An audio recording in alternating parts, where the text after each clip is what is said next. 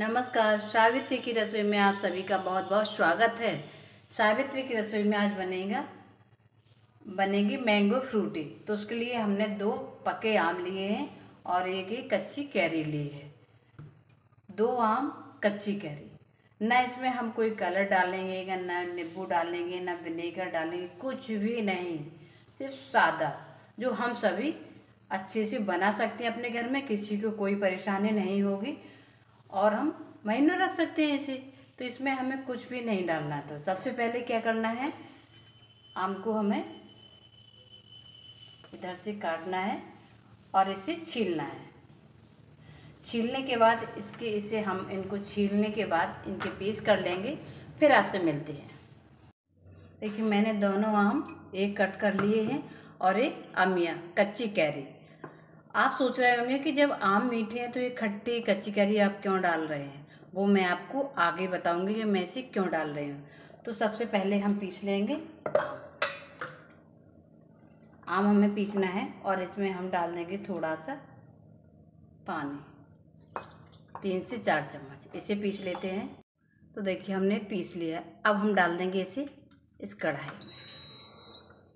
डाल दिया है। अब हम लेंगे कच्ची कैरी। कैरी। तो इसको भी हम इसी जार में डाल देंगे और इसे वापस से हम फिर थोड़ा सा पानी डाल के इसे भी पीस लेंगे। अब हमने ये कच्ची कैरी, इसमें भी पानी डाल के हमने इसे भी पीस लिया है। तो देखिए, ये भी अच्छी से पिस गई है और इसमें हम थोड़ा पानी और डाल देंगे। जो भी इस जार में लगा है, वो सब उसी में चला जाए। जार धुल के भी डाल दिया और हम डाल देंगे इसमें शक्कर। तो अभी मैंने इसमें एक कप डाली है। और हम, पहले हमने आधा कप पानी डाला था और अब हम डाल देंगे इसमें एक कप पानी। बस, अब इसे हम पकाएँगे। अब हमने गैस पर रख दिया है इसे। हम इसे अच्छे से पकाएँगे, देखिए, मिक्स करते हैं।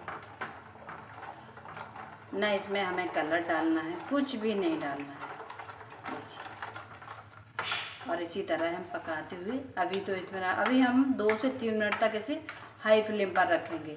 जैसे ये गर्म होता है तो हम इसे मीडियम टू हाई कर देंगे।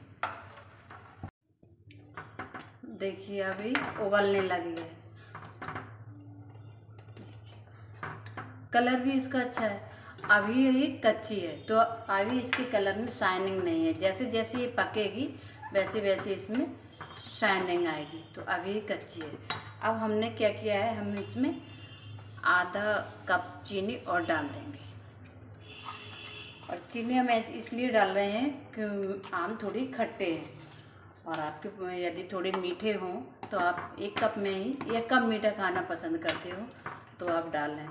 और जैसे जैसे आम का सीज़न ज़्यादा आता जाएगा, उस हिसाब से आम आप मीठे होते जाएँगे। अभी आम में थोड़ी खटाई है और गर्मियों के सीज़न में आम की भरमार रहती है। तो आप बनाइए और अपने बच्चों को भी पिलाइए बच्चे खुश हो जाएँगे। जब आप घर पर ऐसी फ्रूटी बनाएँगे ना तो फिर वो बाहर से लाने की ज़रूरत नहीं है। कभी नहीं बोलेंगे आपसे बाहर से लाने के लिए। तो इसे अब हम मीडियम टू हाई पर पकाएँगे। तीन से चार मिनट। या इसमें आप समझ लीजिए, जब तक इसमें शाइनिंग नहीं आती है। देखिए इसका कलर चेंज हो गया है पहले से और ये गाढ़ा भी हो गया है, देखिए। अब हमें क्या करना है? देखिए, बस इसे दो मिनट और लगेंगे, तैयार हो जाएगा। आप सोच रहे होंगे कि इसमें अमिया क्यों डाली, कच्चा आम क्यों आपने डाला? तो मैं आपको बता दूँ, मैं इसलिए उसमें, इसमें कच्चा आम डाला है मैंने, क्योंकि इसमें ना नींबू डाला है, ना साइट्रिक एसिड डाला है और ना ही इसमें विनेगर डाला। है तो खटाई कैसी चाहिए हमें? और हमें एक दो महीने तक इसे स्टोर भी करना है। इसलिए मैंने इसमें कैरी डाली थी, कच्ची अमिया अमिया डाली थी, क्योंकि जब इसमें खटाई रहेगी और आम मीठे होते हैं और हम शक्कर भी डालते हैं तो मीठा मीठा हो जाएगा। तो खटाई के लिए हमें इसमें अमिया डालने पड़ेगी। हल्का सा खट्टापन होना चाहिए। तो देखिए, अभी बन के रेडी हो गया है। हम आपको ऐसे देखा जब हम इसे इस तरह से लेंगे तो ये देखिए। तार, आधा तार बन रहा है इसका टूट रहा है। तो अभी ये गर्म है तो ये तार भी इसमें, अब ये और गाढ़ी होगी, ठंडी होगी तो और गाढ़ी होगी। अब इससे ज़्यादा कर देंगे तो इसमें तार बन जाएगा, ये जम जाएगी। तो अब हम गैस को करते हैं बंद और इसे होने देते हैं ठंडा। देखिए, ठंडा भी हो गया है और ये गाढ़ा भी हो गया है अच्छे से। तो अब हम क्या करते हैं, अब इसे हम ट्रांसफ़र करते हैं एक जार, सॉरी, एक बाउल में।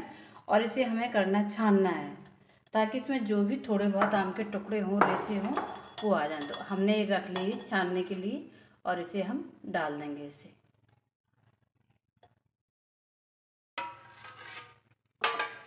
और इसे हम धीरे धीरे इसमें इस तरह से इसे घुमाते हुए छान लेंगे।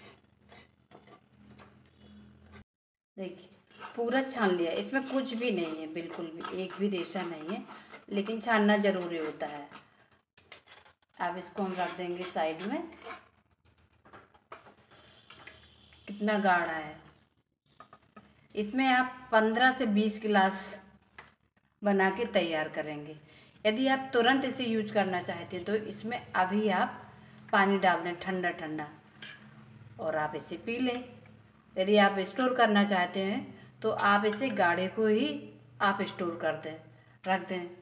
कांच की जार में और जब भी आपका मन हो, निकालें, दो चम्मच डालें एक गिलास में और ठंडा पानी या आइस क्यूब्स डाल के और बस आराम से मज़े से आप इंजॉय कीजिए। हमने लिया है कांच का जार तो इसमें हम डाल देंगे। साफ़ होना चाहिए, धुला हुआ और सूखा, बिल्कुल भी इसमें पानी नहीं होना चाहिए। तो मैंने इसमें डाल दिया है। अब ये गाढ़ा है तो अब ये हाफ़ हुआ है और इसे आप यूज़ करें तो इसमें बढ़िया से आप इसका डबल पानी, ये डबल का आप इसमें ज़्यादा पानी डाल के और आप बना लें। इसे आप फ्रिज में रख के एक से डेढ़ महीने तक आप ले सकते हैं। ये ख़राब नहीं होगा, लेकिन आपको फ्रिज में रखना होगा। अब हम लेंगे गिलास। ये दो कांच के गिलास हैं तो हम इनमें लेंगे दो दो चम्मच। इसमें कोई भी कलर नहीं डाला है, इसका कलर देखिए। हमने दो चम्मच ले लिया अब हम इसमें डालेंगे चिल्ड वाटर।